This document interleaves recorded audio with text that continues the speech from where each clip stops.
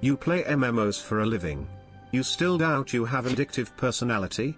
I never doubted I had it. So yeah, like I, I tried out streaming on, I think it was, what, what was the day?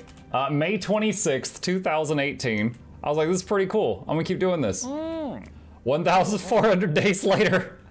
that's why, that's why, well, like, I, I don't, I, I don't drink. Like, a, a lot of people are like, you know, Mark, do you like alcohol? Do, do you have a drink that you like? I've actually never even tried it. And the reason for it is when I was growing up, my parents were like, you know, don't drink alcohol or we'll kill you. Oh, no. And I completely believed that. I, I was terrified of my parents. So I was just, yes, sir. Yes, ma'am. You know, I, I'm not touching it. So it's like, I, I, I was never going to do that.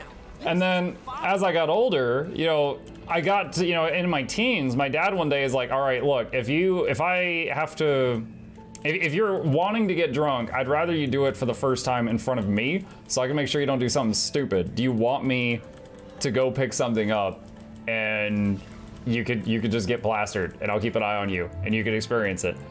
And I was like I was imagining just sitting in the living room and getting drunk while my dad just stares at me and I was just like I'm good.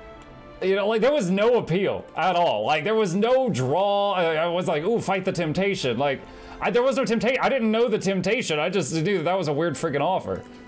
Thanks, pops. I'm I'm good. And so I was like, no. And then as I got older than that, you know, I you came to the realization that I came from a long line of like raging alcoholics on both sides of my family tree. And I was like, you know, maybe I shouldn't try it. like I, there's there's a chance I might love it and then we're in trouble.